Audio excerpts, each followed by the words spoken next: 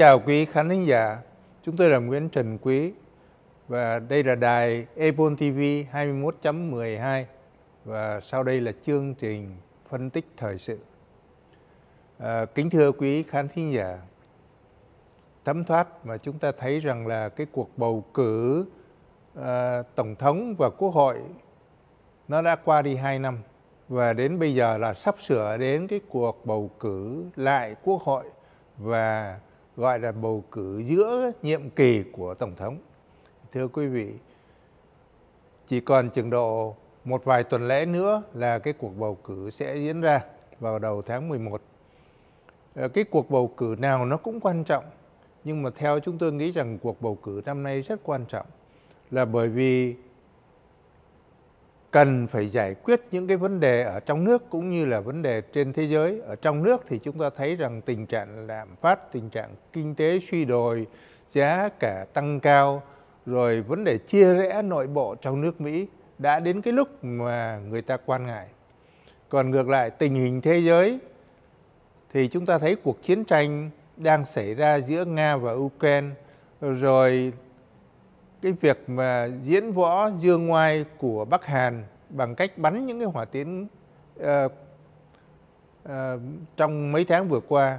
Rồi chúng ta thấy rằng Trung Cộng mới đây họp đại hội 20 thì ông Tập Cận Bình đã đe dọa rằng sẽ dùng vũ lực để mà thống nhất Đài Loan. Và Iran thì chúng ta cũng thấy rằng đã bắt đầu đưa vũ khí để mà bán cho Nga trong cái cuộc chiến của ờ, ờ, Ukraine. Thành ra như vậy chúng ta thấy rằng là trong tương lai gần đây có lẽ tình hình thế giới nó sẽ có nhiều xáo trộn và nhiều sự đe dọa hơn nữa. Thành ra thưa quý vị, để chuẩn bị cho những cái tình thế khó khăn như vậy thì chắc chắn là nước Mỹ cũng phải có một cái sự chuẩn bị tương ứng và cũng cần phải có những nhân sự, những kế hoạch và những đường lối mới để mà đáp ứng với những cái đòi hỏi không những ở trong nước và cả trên thế giới. Vì thế cho nên cái cuộc bầu cử quốc hội vào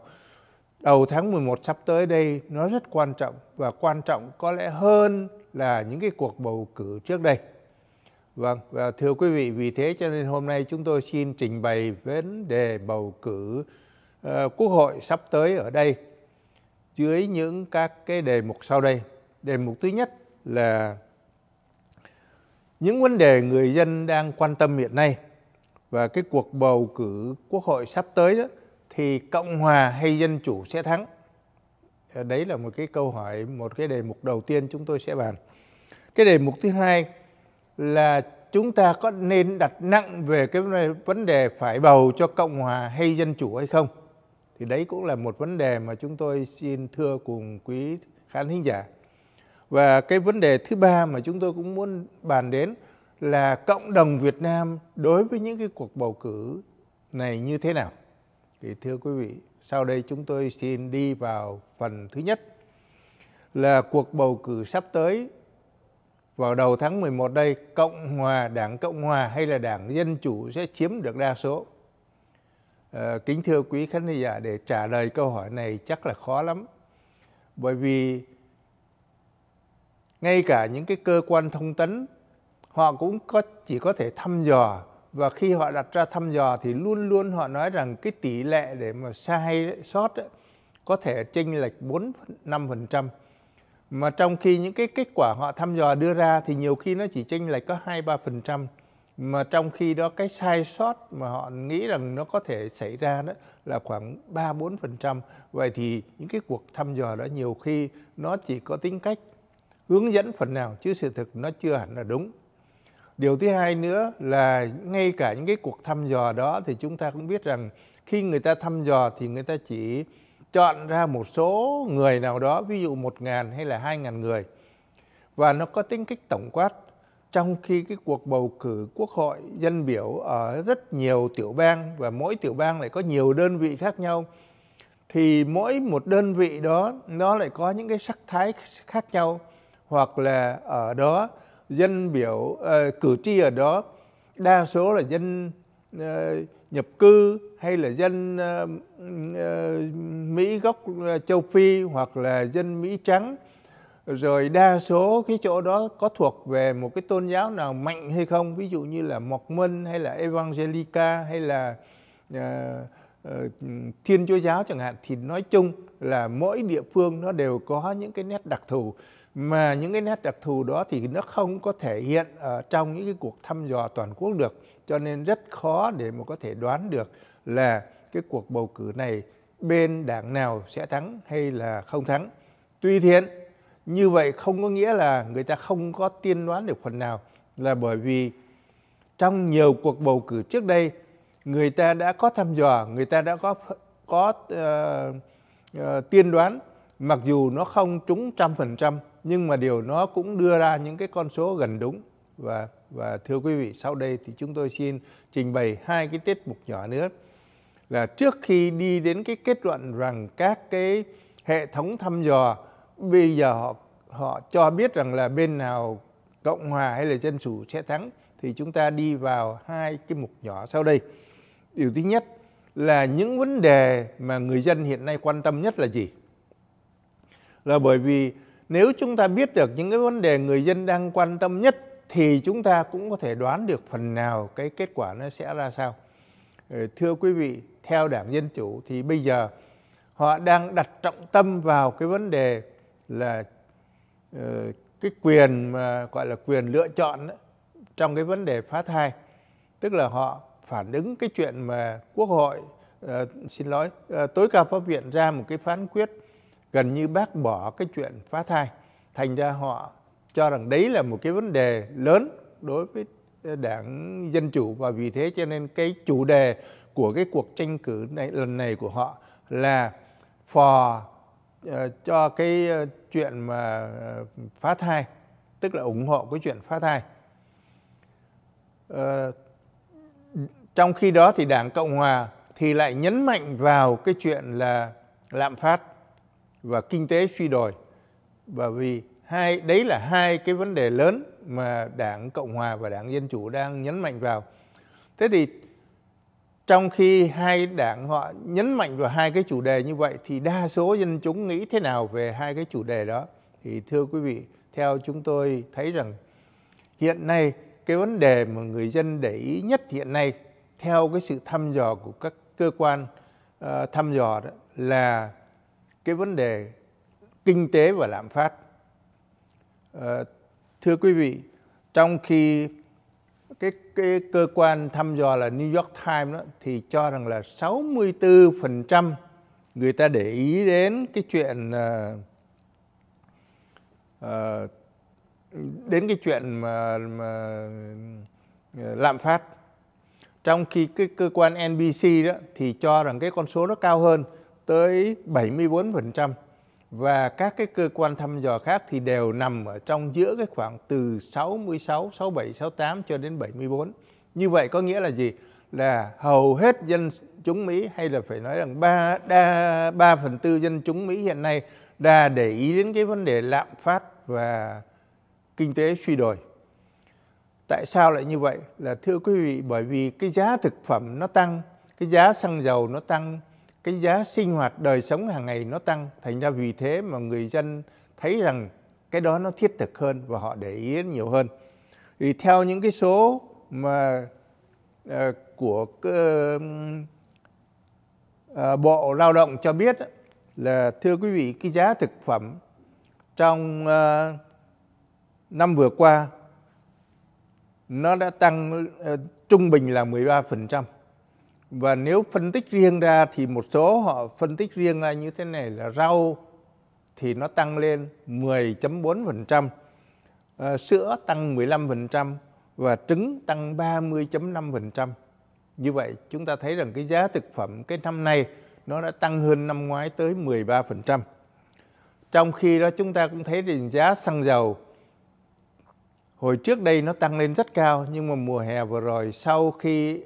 Ờ, Tổng thống Biden cho ừ, mở một số những các cái kho xăng dầu dự trữ thì cái giá nó đã giảm xuống phần nào. Nhưng mà gần đây thì nó lại bắt đầu tăng trở lại và người ta đang nghĩ rằng có lẽ trong, từ đây cho đến ngày bầu cử, giá xăng nó sẽ tiếp tiếp tục tăng cao hơn nữa. Ờ, và nói đến cái chuyện lạm phát thì Bộ Lao động cho biết rằng là riêng cái tháng vừa qua, cái lạm phát tăng là 0.4% nhưng mà tính trong 12 tháng vừa qua thì lạm phát đã tăng lên 8.2%. Có nghĩa là ví dụ năm ngoái chúng ta có 100 đồng mà để giữ ở trong túi, thì đến bây giờ cái giá trị của 100 đồng đó nó chỉ còn lại có 91 đồng ờ, 80 sen mà thôi. Thì có nghĩa là chúng ta đã mất đi 8.2% Ờ, của cái tiền mà chúng ta tích trữ từ năm ngoái. Và cái điều đó thì nó phản ảnh ngay vào cái chuyện mà uh, lương bổng, tức là cái lương của một người lĩnh hàng tháng nó không có tăng hay là nó tăng rất chậm thì có nghĩa là cái số lương đó nó không đủ mua được những cái hàng hóa mà người đó muốn như là năm ngoái mà nó đã mất đi 8%. Như vậy có nghĩa là hàng hóa tăng thì lương tự động nó mất giá, nó sẽ uh, ờ, sụt giảm xuống. Thì thưa quý vị, theo cái sự thăm dò là bây giờ người ta đây là những cái vấn đề mà người dân đang để ý nhất. Thành ra cũng theo thăm dò này thì uh, tờ báo New York Times họ thăm dò họ thấy rằng cái số người mà để ý đến lạm phát là 44%. Trong khi tháng trước đây, một tháng trước đây thì chỉ có 36% người được hỏi để ý đến vấn đề lạm phát. Nhưng mà bây giờ là 44% số người được hỏi đều để ý đến là vấn đề lạm phát là vấn đề hàng đầu người ta lo ngại. Trong khi đó vấn đề uh, phá thai và cấm phá thai đó thì người ta thăm dò chỉ thấy rằng có 5% số người được hỏi cho rằng đây là vấn đề mà họ quan tâm đến hàng đầu. Thành ra thưa quý vị, như vậy thì chúng ta thấy rằng là qua cái thăm dò này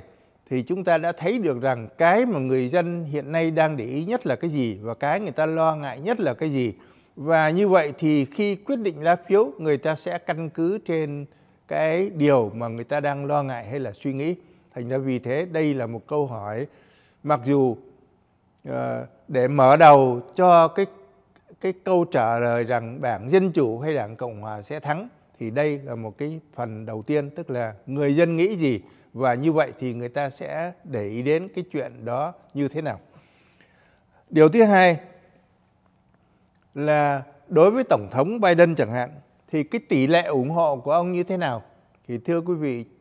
ờ, các cơ quan thăm dò cho biết rằng so với vài tháng trước đây thì cái tỷ lệ ủng hộ Tổng thống Biden nó có tăng lên một chút tăng lên được tới 42%, trong khi mấy tháng trước nó chỉ có 37%. À, ờ, nhưng mà nếu hỏi rằng là vậy thì có bao nhiêu người đồng ý với cái sự uh, uh, với cái đường lối chính sách của ông Biden và bao nhiêu người không bằng lòng thì thưa quý vị có tới 53% không hài lòng với ông Biden về những cái cách làm việc của ông. Thành ra như vậy chúng ta thấy rằng là cái uy tín của Tổng thống Biden nó không có cao và cái số người không ủng hộ đó nó đông hơn là cái số người ủng hộ. Và nếu nói về đường lối đó, tức là cái đường lối của Đảng Dân Chủ và của Đảng và của Tổng thống Biden như thế nào thì về đường lối đó như chúng tôi đã trình bày là nó, uh, tờ New York Times thì cho rằng 64 Ờ, ờ, 64% là cho rằng ông Biden và Đảng Dân Chủ đã đưa đất nước đi sai đường lối. Và thậm chí NBC thì cho rằng là ông Biden và Đảng Dân Chủ đưa đất nước đi sai đường lối đến 74%. Thì như vậy chúng ta thấy rằng là cái số người mà được hỏi đó không hài lòng, không đồng ý với cái đường lối hiện nay của chính quyền nó rất là cao. Và nếu ờ, đa số họ hỏi rằng bây giờ nếu cuộc bầu cử này thì họ sẽ bầu cho đảng Dân Chủ hay Cộng Hòa thì thưa quý vị cũng tờ New York Times và tờ uh, uh, và tờ uh, American Express thì đưa ra một cái con số là nếu bầu bây giờ thì Đảng Cộng Hòa sẽ có hy vọng thắng 49% và Đảng Dân Chủ có hy vọng thắng 45%. Như vậy chúng ta thấy rằng qua hai cái cuộc ờ, hai cái câu hỏi câu hỏi thứ nhất là người dân nghĩ gì, lo cái gì nhất và thứ hai là cái cuộc thăm dò về tổng thống và cái đường lối của đảng dân chủ như thế nào thì chúng ta thấy rằng cả hai cái cách mà để dùng cái đó để mà thăm dò cái dư luận đó, thì đều thấy rằng hình như cái cuộc bầu cử sắp tới đây nó không có lợi cho đảng cộng à, dân chủ mà nó thiên về đảng cộng hòa giống như những cái thăm dò họ kết luận rằng sẽ có 49% số người ủng hộ nghĩ rằng Đảng Cộng Hòa sẽ thắng và chỉ có 45% số người cho rằng Đảng Dân Chủ sẽ thắng. À, tuy nhiên như chúng tôi đã trình bày lúc đầu là sự thực ra nói đến cái chuyện thắng thua nó cũng vẫn còn là tương đối là bởi vì cái cuộc thăm dò dù sao đi nữa, nó vẫn có những cái sự sai lệch mà người ta không biết trước được. Thứ hai nữa là những cái cuộc thăm dò nó có tính cách chung chung, trong khi cái đơn vị bầu cử nó có tính cách địa phương nó khác hơn cái tình trạng chung của toàn quốc. Ờ, nhưng mà đến bây giờ thì hầu hết mọi người qua cơ quan, các cơ quan truyền thông thì chúng ta đều thấy rằng là hình như đảng dân chủ cũng phải thấy trước được là có lẽ cái kỳ bầu cử sắp tới đây, đảng cộng hòa sẽ chiếm đa số ở hạ nghị viện. Và chính bên đảng dân chủ họ cũng đã có vẻ chấp nhận cái chuyện đó và họ đã đang bàn đến cái chuyện rằng vậy thì cái vai trò của bà à, Nancy Pelosi sắp tới ra sao? Ờ, có những cái nguồn tin cho biết rằng hình như là ông Biden đã dọn sẵn chỗ để cho bà đi làm đại sứ ở Ý. Ờ, là bởi vì thứ nhất là bà là một người thiên chúa giáo, thứ hai là mất cái chức ờ, dân biểu xin lỗi, mất cái chức chủ tịch hạ viện. Mà bà vẫn còn là dân biểu thì có lẽ cái vai trò đó nó yếu đi cho nên đã dọn sẵn chỗ cái điều đó cho thấy rằng là hình như đảng dân chủ họ cũng đã tự cảm thấy rằng họ không thể thắng được đa số ở trong cái cuộc bầu cử sắp tới ở hạ nghị viện. Thế còn đảng ờ, ở thượng nghị viện thì chúng tôi lại thấy rằng cái cái khuynh hướng nó hơi khác, là hiện thời bây giờ các ờ, cơ quan báo chí đều cho rằng là cái cuộc bầu cử sắp tới đây Ờ, có thể là hai bên vẫn còn là 50 50 tức là mỗi bên sẽ chiếm được 50 hoặc là nếu có thể hơn được thì chỉ hơn được một hai phiếu mà thôi thêm được một hai chỗ mà thôi. Lý do là bởi vì hiện nay có ba cái tiểu bang mà rất khó để mà biết được. Một là Pennsylvania hai là uh, Georgia và ba là Nevada. Đấy là ba cái tiểu bang mà đảng cộng hòa và dân chủ hiện nay hai ứng cử viên của hai bên đều tranh chấp với nhau mà nó chưa thấy có cái gì rõ ràng để biết rằng bên nào thắng hay là bên nào thua và một trong ba nơi này hay là hai trong ba nơi này có thể quyết định cái sự hơn thua trong số ờ, 50 50 của thượng nghị viện. Thành ra thưa quý vị, như vậy chúng ta có thể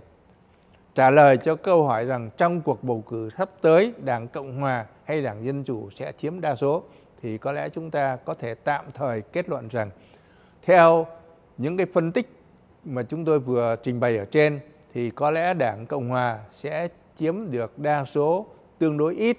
nhưng mà đa số ở hạ nghị viện. Còn ở thượng viện thì cho đến giờ này chưa thấy có cái cuộc thăm dò nào cho thấy một cách chắc chắn rằng bên nào sẽ hơn. Tuy nhiên rằng cuộc bầu cử nó sẽ có thể có những các cái thay đổi vào phút chót và đến bây giờ thì chúng ta cũng phải chờ cho đến ngay ngày bầu cử mà thôi.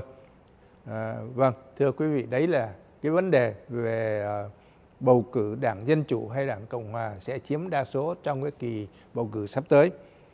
Chúng tôi sang vấn đề thứ hai là với những người đi bầu như chúng ta thì chúng ta có nên đặt nặng cái vấn đề dân chủ hay là cộng hòa hay không? Thì thưa quý vị,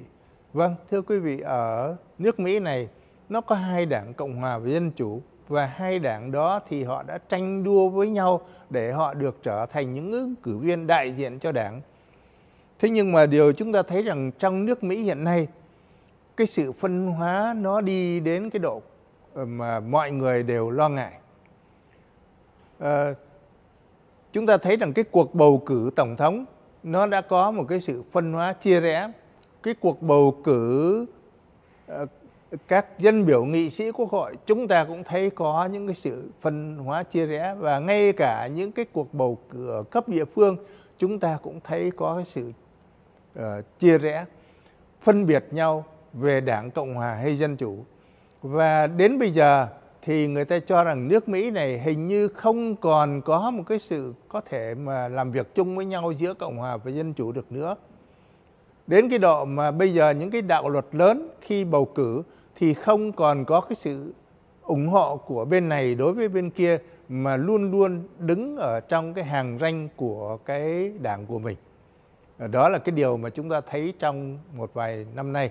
Ít ra là trong hai năm vừa qua, chúng ta thấy rằng chỉ có một hai cái đạo luật là được bên Cộng hòa ủng hộ cho bên Dân chủ để mà thông qua. Ngược lại hầu hết đều Cộng hòa thì bầu theo cái chủ trương của Cộng hòa Dân chủ bầu cho Dân chủ và vì thế cho nên không thể hoàn thành những cái đạo luật đó được. Trong khi đó ở ngoài dân chúng thì người ta cũng thấy rằng cái sự chia rẽ ở ngoài dân chúng, cái sự ờ, ờ, khác biệt ở ngoài dân chúng nó cũng đã đi đến cái mức lo ngại. Vậy thì cái nguyên nhân nào đã đưa đến cái chuyện mà phân rẽ nước Mỹ trong ngày hôm nay? Thì thưa rằng cái nguyên nhân của nó đó là người ta cho rằng vì bởi vì cái cái phe cánh tả đó, họ đã đi một cách quá xa và vì cái phe cánh tả họ đi một cách quá xa như vậy, cho nên cái phe cánh hữu họ cũng phản ứng lại, thành ra họ cũng đi ngược lại và chính vì thế mà giữa phe uh, gọi là bảo thủ và cấp tiến nó có một cái sự ganh đua với nhau có một cái sự chia rẽ với nhau và bây giờ nó không còn phải là bất đồng với nhau mà nó trở thành bất hòa với nhau. Thì thưa quý vị tình trạng nước Mỹ ngày hôm nay nó đang ở cái tình trạng mà người ta cho rằng là đáng lo ngại tức là nó có một cái sự phân rẽ quá đáng. À, vâng vậy thì thưa quý thính giả chúng tôi xin để lại một giây ờ, một ít phút cho thông tin thương mại, rồi sau đó chúng tôi sẽ trở lại cái vấn đề là có nên bầu cử theo đảng Dân Chủ hay Cộng Hòa hay không.